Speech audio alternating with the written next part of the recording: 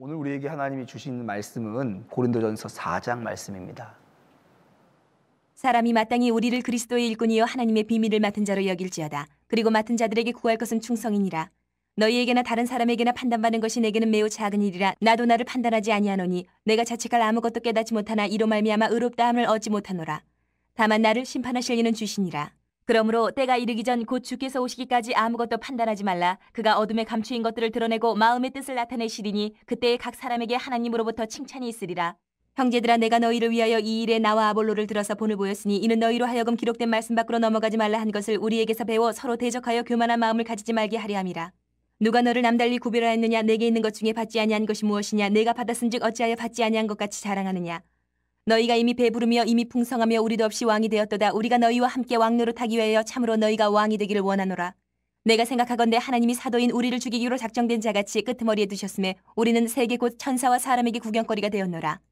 우리는 그리스도 때문에 어리석으나 너희는 그리스도 안에서 지혜롭고 우리는 약하나 너희는 강하고 너희는 존귀하나 우리는 비천하여 바로 이 시각까지 우리가 줄이고 목마르며 헐벗고 매맞으며 정처가 없고 또 수고하여 친히 손으로 일을 하며 모욕을 당한 즉 축복하고 박해를 받은 즉 참고 비방을 받은 즉 권면하니 우리가 지금까지 세상의 더러운 것과 만물의 찌꺼기같이 되었도다. 내가 너희를 부끄럽게 하려고 이것을 쓰는 것이 아니라 오직 너희를 내 사랑하는 자녀같이 권하려 하는 것이라. 그리스도 안에서 일만 스승이 있으되 아버지는 많지 아니하니 그리스도 예수 안에서 내가 복음으로써 너희를 낳았습니다. 그러므로 내가 너희에게 권하노니 너희는 나를 본받는 자가 되라. 이로 말미암아 내가 주 안에서 내 사랑하고 신실한 아들 디모데를 너희에게 보내었으니 그가 너희로 하여금 그리스도 예수 안에서 나의 행사 곧 내가 각처 각 교회에서 가르치는 것을 생각나게 하리라. 어떤 이들은 내가 너희에게 나아가지 아니할 것 같이 스스로 교만하여졌으나 주께서 허락하시면 내가 너희에게 속히 나아가서 교만한 자들의 말이 아니라 오직 그 능력을 알아보겠으니 하나님의 나라는 말에 있지 아니하고 오직 능력에 있습니다. 너희가 무엇을 원하느냐 내가 매를 가지고 너희에게 나아가랴 사랑과 온유한 마음으로 나아가랴 아멘. 하나님의 말씀입니다. 고린도 교회에는 어, 사도 바울을 판단하고 또 비난하고 심지어 그를 낮추려는 사람들이 있었던 것 같습니다. 아, 그들은 여러 가지 사도 바울의 어, 모습들을 가지고 자기 나름대로 판단했던 것 같습니다. 특별히 아볼로파나 게바파라고 말하면서 사도 바울을 공격했던 사람들이 있었던 것 같습니다. 그는 진짜 사도가 아니잖아. 열두 제자들 가운데 끼어 있지 않았잖아. 그는 우리를 핍박했던 사람이잖아. 그는 어떠한 소개장이나 천거장도 갖고 있지 않잖아. 여러 가지 말로 영성이 부족하다, 설교가 어떻다, 이런 식으로 사도 바울을 공격하는 사람이 있었던 것 같습니다. 그런데요, 사도 바울은 이런 사람들의 비난과 판단이 사실은 그에게는 아무것도 아니었다라고 말합니다. 왜냐하면 사도 바울이 더 큰, 아주 더 중요한 판단 앞에서 날마다 살아갔기 때문에 그렇습니다. 사도 바울은요, 진정한 판단자이시고, 진정한 심판자이신 하나님 앞에서 날마다 살아갔던 사람입니다. 그래서 사도 바울은 자신을 판단하고 자신을 비난하는 사람들 앞에서 아주 떳떳하고 당당하게 자신은 하나님의 종이다 라고 고백하는 것을 보게 됩니다. 1절 말씀 보시겠습니다. 사람이 마땅히 우리를 그리스도의 일꾼이요 하나님의 비밀을 맡은 자로 여길지어다. 여기서 사용된 일꾼이라는 단어와 맡은 자라는 단어는 모두 당시 사회에서 노예 신분으로 살아갔던 사람들에게 쓰인 말입니다. 그러니 지금 사도 바울은 어떻게 고백하고 있는 거죠? 나는 하나님의 일을 하는 노예다. 나는 하나님의 일을 하는 종이야. 라고 자기를 당당하게 소개하고 있는 것입니다.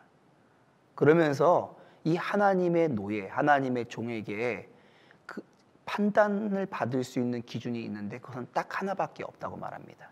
2절 말씀입니다. 그리고 맡은 자들에게 구할 것은 충성이니라. 자신을 맡은 자, 하나님의 청직이라고 소개하고 있는 이 사도 바울이 하나님의 종들에게 그들이 판단받는 기준은 딱 하나, 충성. 얼마나 끝까지 하나님께 신실했는가 이것밖에 없다는 거예요. 그리고 이 기준을 가지고 자신을 돌아보니 자신은 부끄러운 것이 없다고 4절에 이야기하고 있습니다. 아무리 많은 사람들이 찾아와서 자신을 비난하고 자신을 그렇게 공격하는 것처럼 자신을 낮추는 것처럼 보여도 자기가 당당할 수 있었던 이유는 날마다 하나님의 이 큰 기준 앞에 살아갔기 때문인 것이죠. 사도 바울은 과연 어떤 기준을 가지고 이 하나님 앞에 살아갔던 걸까요? 하나님께서 판단하시는 그 기준, 그것이 무엇이었는지 5절이 더 자세하게 기록하고 있습니다. 5절입니다. 그가 어둠에 감추인 것들을 드러내고 마음의 뜻을 나타내시리니 그때에 각 사람에게 하나님으로부터 칭찬이 있으리라. 사도 바울은요, 하나님 앞에서 살아갔는데, 사도 바울이 믿는 하나님은 어떤 분이었냐면, 어둠에 감추인 것을 드러내시는 하나님이셨습니다. 바꿔 말하면요, 아무도 없을 때, 자기 혼자만 알고 있는 일들을 다 아실 뿐만 아니라 그것을 다 드러내실 거라는 거예요. 또 하나, 사도 바울은 하나님이 마음속에 있던 생각까지도 다 아셔서 그것도 다 판단하실 하나님으로 믿고 있었습니다. 아무도 모르는 일, 혼자 있을 때 있는 일, 그리고 마음의 생각까지도 낱낱이 아시는 하나님 앞에서 살아가니 사람들의 평가, 사람들의 판단이 사도 바울에게는 별일이 아니었겠죠. 매 순간 하나님의 마음을 살피시는 그 기준 앞에서 그리고 모든 비밀들을 다 드러내시는 그 하나님 앞에서 살아가는 사도 바울이다 보니 그의 삶은요 전혀 부끄러움이 없는 삶이었습니다. 살아가는 삶이요 바로 성전된 삶이었어요. 성전된 삶은 무엇이죠? 바로 살아계신 하나님 앞에서 살아가는 삶이잖아요. 근데 그 하나님이 자신의 생각, 자신의 감추인 것까지 다 아신다고 하니 그 앞에 살아가는 그 삶이 진정으로 성전된 삶이 되었던 것입니다. 그리고 마지막으로 사도 바울이 하나 더 믿는 게 있었는데요. 이렇게 자신의 모든 것을 살피시는 하나님이 그 살핀 것으로 자신에게 상 주시는 이심을 믿었던 것입니다. 그래서 사도 바울은요, 자신이 이 땅을 살아갈 때 철저하게 하나님의 말씀 앞에서 살아갔습니다. 왜요? 그 하나님이 살아서 자신을 생각과 감추어진 것도 다 드러내신 하나님이니 하나님의 말씀을 기준으로 살아갈 수밖에 없지 않아요? 그러니 사도 바울은요, 자신이 말하는 대로, 자신이 설교한 대로, 또 자신이 고백한 그대로 살아갔어요. 말씀의 그 범주를 벗어나는 일이 없었습니다. 세상의 기준이 바뀌고 세상의 생각이 바뀌고 세상의 가치가 바뀌어가고 어떤 영향력 있는 사람들이 뭐라고 말한다 할지라도 그 하나님께서 주신 말씀의 범주를 벗어날 수가 없었던 거예요. 말씀 밖으로 나갈 수가 없었던 것입니다. 그래서 사도 바울은 6절에 다음과 같이 얘기합니다. 형제들아, 내가 너희를 위하여 이 일에 나와 아볼로로 아볼로를 들어서 본을 보였으니 이는 너희로 하여금 기록된 말씀 밖으로 넘어가지 말라 한 것을 우리에게서 배워 어떻게 배웠을까요? 본을 보여준 그대로 배우게 했다는 거예요. 내용이 뭐예요? 기록된 말씀 밖으로 벗어나지 말라 하는 것을 가르쳤습니다. 단지 입술로 가르친 게 아니에요. 그가 직접 말한 그대로 말씀 밖으로 벗어나지 않는 그 삶을 철저하게 살았습니다. 왜요? 날마다 하나님 앞에서 살아갔기 때문에 그렇습니다. 날마다 생각을 감찰하시고 아주 비밀스러운 일까지 다 드러내실 그 하나님 앞에서 살아가니까요. 사도 바울은 그의 말하는 것이나 그의 삶이 똑같았다는 거예요.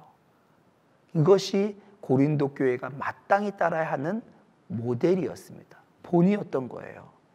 그런데요, 바울을 판단하고 비판하고 낮추려는 고린도 교회의 사람들의 삶은 어땠나요? 그들은 교만했어요. 말씀 안에 거하는 것이 아니라 자신들이 교회의 주인이 되어서 어린아이처럼 자신들의 생각을 따라서 살았습니다. 자신들의 생각에 좋은 것을 취하며 살아갔어요. 이것이 7절, 8절 말씀에 기록되어 있습니다. 누가 너를 남달리 구별하였느냐? 너에게 있는 것 중에 받지 아니한 것이 무엇이냐? 내가 받았은즉 어찌하여 받지 아니한 것 같이 자랑하느냐? 교만해진 거죠. 너희가 이미 배부르며 이미 풍성하며 우리 없이도 왕이 되었도다. 이 말씀 가운데 우리가 주목해야 할 단어 하나가 있습니다. 우리나라 성경에는 왕이 되었도다라고 번역된 이 헬라어 원어는요. 바실레우오라고 하는 단어인데요. 이 단어는 왕이 되다, 왕 노릇하다, 왕처럼 다스리다라고 하는 뜻을 가지고 있는 단어입니다. 사도 바울은요, 교만해진 고린도 교인들이 스스로 교회에서 주인이 되었다고 말하고 있습니다. 스스로 왕이 되었다고 선언하고 있어요. 자신이 주인이 되고 왕이 되니까요, 얼마든지 말씀 밖으로 나갈 수 있게 된 거예요. 말씀의 가르침과 관계없이 교만해져서 자랑하고 스스로의 생각에 스스로의 판단에 세상의 가치를 따라서 살아갈 수 있게 된 것이죠. 사실 이것이 고린도 교회의 가장 본질적인 문제입니다. 고린도 교회에 수많은 문제들이 있었죠. 그 수많은 문제들의 가장 근본적인 원인이 있다면 그들 스스로가 하나님 말씀 밖으로 벗어나서 주인이 된 삶, 바로 왕이 된 삶을 살았기 때문에 그렇습니다. 다툼의 문제도 분쟁의 문제도 육신을 따라가는 삶의 문제도 세상의 지혜를 취하여 따라가는 삶 문제도 그리고 그 뒤에 이어지는 모든 문제들이 다 자신이 스스로 주인되고 왕되었기 때문에 일어난 문제입니다. 하나님께서 그들을 거룩한 성전으로 불러주셨음에도 불구하고 자신들이 그 성전에서 스스로 주인 되어 버렸던 것이죠. 그래서 자신의 생각과 자신의 판단을 따라서 신앙생활을 했던 겁니다. 사도 바울은요, 이것이 얼마나 심각한 문제인지를 너무 잘 알고 있었어요. 그래서 하나님을 진정으로 왕으로 모시고 하나님 앞에서 자, 살아가는 자신의 삶과 말은 굉장히 잘해요. 굉장히 자신들의 삶을 말로는 잘 고백하지만 자신 스스로가 주인 되고 왕 되어 버린 이 고린도 교회의 삶들이 어떻게 달랐는지를 낱낱이 비교해서 설명하고 있습니다. 한번 같이 보실까요? 8절 말씀에 보면요. 고린도 교인들은 자신들이 왕이 되었다라고 이렇게 되어 있죠. 근데 사도 바울은요. 이 고린도 교인과 비교해서 자신을 뭐라고 표현하죠? 9절에 천사와 사람들에게 구경거리가 되었다. 이렇게 말하고 있습니다. 10절로 가면요. 고린도 교인들은요. 자기 스스로가 우리는 하나님 안에 있기 때문에 하나님 안에서 주님 안에서 지혜롭고 강하고 존귀하다 스스로 그렇게 생각했어요. 하지만 사도 바울은요. 그리스도를 위하여 그리스도 때문에 어리석고 약하고 비천하다 이렇게 말하고 있습니다. 8절의 고린도 교인들은요. 자신들은 부족한 게 없어. 우리는 배불러 이렇게 자기를 평가했지요. 근데 사도 바울은요. 11절에 보면 예수 그리스도를 위하여 줄이고 목마르고 헐벗고 매맞고 몸을 둘 장소가 없는 정처 없이 살았다고 말하고 있습니다. 8절에 고린도 교인들은 우리는 풍성해 하나님의 복이 우리에게 넘쳐라고 고백했지만 진짜 예수 그리스도를 위해서 살았던 사도 바울은요.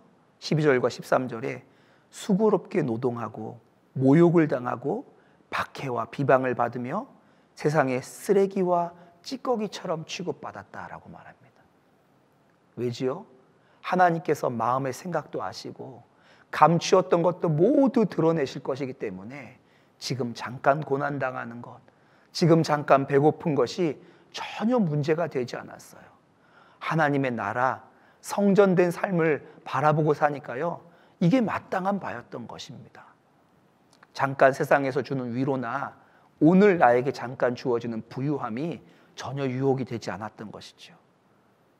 이렇게 사도 바울이 자신의 삶과 고린도 교인들의 잘못된 삶을 비교하면서 고린도 교회를 책망하고 있습니다.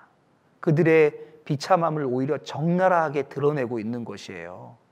그런데 왜 이렇게 사도 바울은 자신의 삶과 고린도 교인들의 삶을 비교해서 적나라하게 드러내고 있을까요? 따끔하게 혼내주고 챙피를 주기 위해서일까요? 사도 바울은 아니라고 말하고 있습니다. 14절 말씀입니다. 내가 너희를 부끄럽게 하려고 이것을 쓰는 것이 아니라 오직 너희를 내 사랑하는 자녀같이 권하려 하는 것이라. 사도 바울이 지금 이렇게 고린도 교인들의 삶과 자신의 삶을 비교하는 이유는요. 그들에게 권하고 싶은 게 있기 때문에 그렇습니다.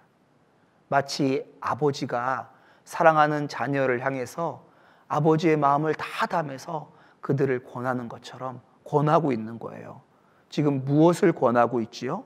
16절에 무엇을 권하는지 그 내용이 들어 있습니다. 그러므로 내가 너희에게 권하노니 너희는 나를 본받는 자가 되라. 지금 사도 바울은요, 아버지가 집 나간 아들에게 어서 돌아와. 어서 돌아오렴. 이렇게 권하는 것처럼 아버지의 심령으로 고린도 교회에게 권하고 있습니다. 돌아와라. 너의 영적인 아버지가 살아가는 삶처럼 그렇게 돌아와. 나처럼 되라. 이렇게 말하고 있어요. 내가 전하는 말과 믿음의 고백이 똑같을 수밖에 없었던 것처럼 하나님의 말씀 앞에서 밖으로 벗어날 수 없었던 것처럼 너희도 나처럼 되라. 내가 진정한 심판자 앞에서 마음의 생각과 감춰졌던 일들을 다 드러내시는 그분 앞에서 그분을 나의 왕으로 모시고 살아가는 것처럼 너희도 나처럼 되라. 이게 진짜 그리스도인의 삶이야. 라고 권면하고 있는 것입니다. 그러면 나중에 고린도 교인들이 정말 아버지 되는 영적인 아버지 되는 사도 바울의 권면을 듣고 돌아왔는지 돌아와지 않았는지 어떻게 알 수 있지요? 그 판단의 기준은 무엇인가요? 사도 바울은 이것이 이 판단의 기준이 무엇인지를 19절과 20절에 소개하고 있습니다. 내가 너희에게 속히 나아가서 교만한 자들의 말이 아니라 오직 그 능력을 알아보겠으니 하나님의 나라는 말에 있지 아니하고 오직 능력에 있음이라. 사도 바울은요.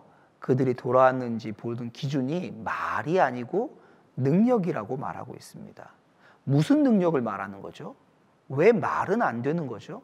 고린도 교회 사람들은요. 당시 헬라 문화의 영향을 받아서 말을 잘하는 것, 잘 설득력 있게 말하는 게 최고의 가치 중의 하나였습니다.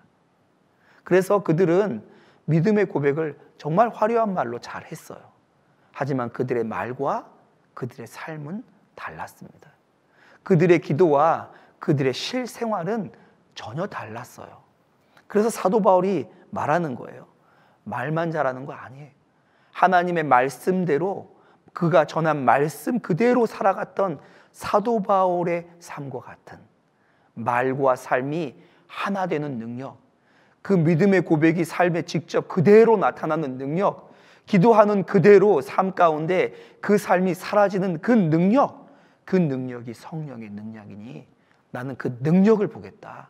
너희들이 뭐라고 말하는 그 말이 아니라 하나님 앞에서 두렵고 떨림으로 그분을 왕으로 모시고 살아가기 때문에 그 분 앞에 고백하는 그 고백대로 살아가는 그 능력을 보겠다라고 권면하고 말하고 있는 것입니다. 저는 주님께서 오늘 아침에 이 고린도전서 4장 말씀을 통해서 우리에게도 말씀하고 있다고 믿습니다. 사도 바울이 고린도 교회를 돌아오라고 권면하고 있는 것처럼 하나님께서 오늘 우리도 부르고 계십니다. 하나님을 만났고 하나님께 드린 마음의 고백은 있지만 어느 순간 하나님 앞에서 살아가는 것은 아닌 우리를 부르고 계신 거죠. 어느 순간 하나님이 왕이 아니고 내가 내 삶의 주인이 되어지고 내 생각에 옳은 대로 내 판단에 옳은 대로 살아가는 우리를 부르고 계십니다. 하나님의 판단과 하나님의 심판보다 세상 사람들의 가치나 칭찬이나 세상 사람들이 말하는 지혜가 마음속에 더 깊이 들어와 있는 우리를 부르고 계십니다. 오늘 말씀을 묵상할 때 제 마음에 부끄러움이 있었습니다. 이 이야기는 1세기의 고린도 교인들의 마음 이야기가 아니었어요. 저의 이야기였습니다. 말씀을 이렇게 전하는데 그 말씀대로 하나님을 두려워하고 떨림으로 내 마음과 생각도 다 아시기 때문에 내 안에 감추인 것을 다 드러내실 것이기 때문에 그분을 왕으로 모시기 살기, 보다 잘 설교하고 고백하면 되지라고 생각했던 저를 부르시는 하나님의 말씀이었습니다.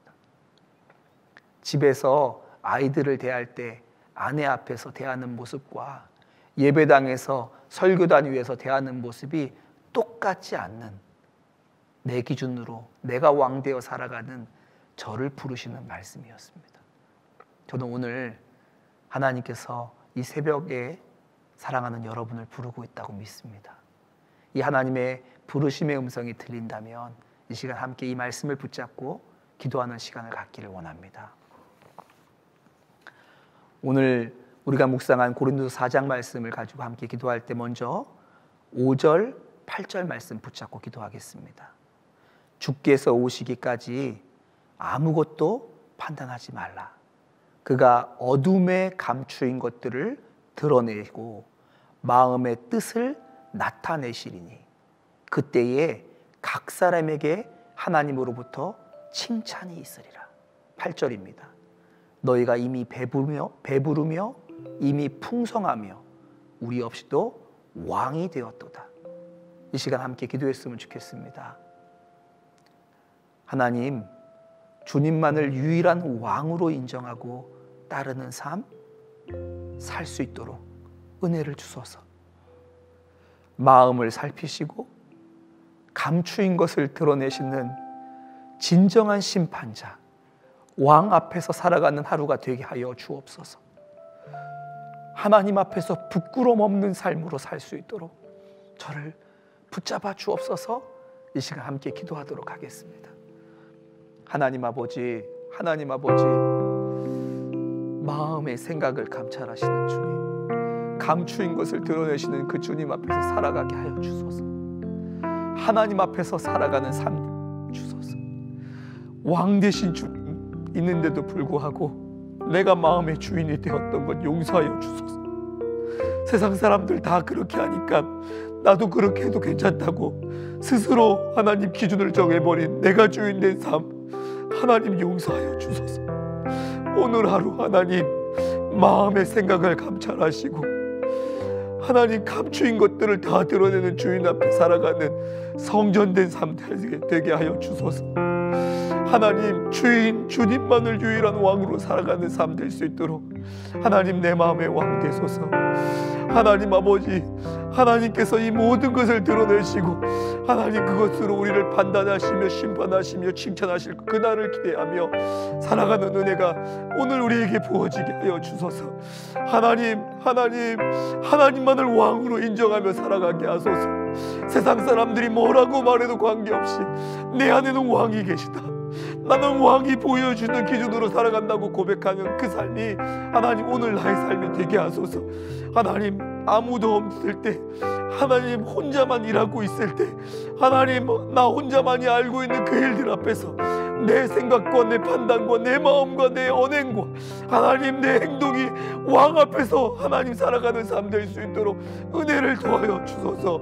하나님 내가 기도했으니까 말씀 묵상했으니까 나는 오늘 내가 주님께 드릴 예배를 드렸으니까 괜찮다라고 말하지 않게 하소서 내 마음의 왕 되신 주님 앞에서 내 삶을 점검받고 철저하게 그 주님 앞에서 왕을 모시고 살아가는 삶 될 수 있도록 하나님 은혜를 도하여 주시기를 간절히 기도하고 기도합니다. 주님 그러한 삶 될 수 있도록 은혜를 도하여 주옵소서. 한 번 더 기도하고 개인 기도하는 시간 갖기를 원합니다. 두 번째는 16절과 20절 말씀을 붙잡고 기도하겠습니다. 그러므로 내가 너희에게 권하노니 너희는 나를 본받는 자가 되라. 20절입니다. 하나님의 나라는 말에 있지 아니하고 오직 능력에 있습니다. 우리 한국 교회를 위해서 기도하기를 원합니다. 하나님의 몸 된 한국 교회가 하나님께 들은 말씀, 하나님께 들은 말씀을 전하는 그 말씀 그대로 삶으로 살아내는 삶의 능력을 누리게 하여 주옵소서. 한국 교회가 말만 잘한다는 말 듣지 않게 하여 주소서. 전하는 말씀이 삶으로 변하는 전하는 말씀 밖으로 벗어날 수 없는 주의 말씀 안에만 구할 수밖에 없는 말씀을 살아내는 삶의 능력 하나님 나타나게 하여 주소서. 하나님 제가 한국 교회입니다. 제 삶 가운데 하나님의 말씀으로 벗어나지 않는 전하는 그 말씀, 듣는 그 말씀 그대로 사는 삶의 능력을 누리게 하여 주옵소서. 이 시간 통성으로 기도하시다가 개인 기도하시면 되겠습니다. 함께 기도하겠습니다. 아버지 하나님, 아버지 하나님, 하나님 말씀과 삶이 다른 것을 하나님 가볍게 여기지 않게 하소서. 하나님 한국 교회 안에 한국 강단에 선포되는 그 말씀이 우리의 삶이 되게 하여 주소서. 말씀과 삶이 다른 것을 가볍게 여기지 않게 하여 주소서. 하나님, 하나님, 하나님 사도 바울이 나를 본받으라 고백하며 아마 권면했던 것처럼 하나님 우리가 전하는 말씀대로 살게 하소서. 우리가 듣는 말씀대로 살게 하여 주소서. 하나님 아버지 말씀을 열어서 묵상하고 큐티하고 하나님 예배 드렸다면 하나님 그 예배의 말씀이 내 삶 가운데 누려지는 그 은혜가 일어나게 하여 주옵소서. 한국 교회가 말만 잘하는 교회 되지 않게 하여 주소서. 그 말씀이 우리 삶 가운데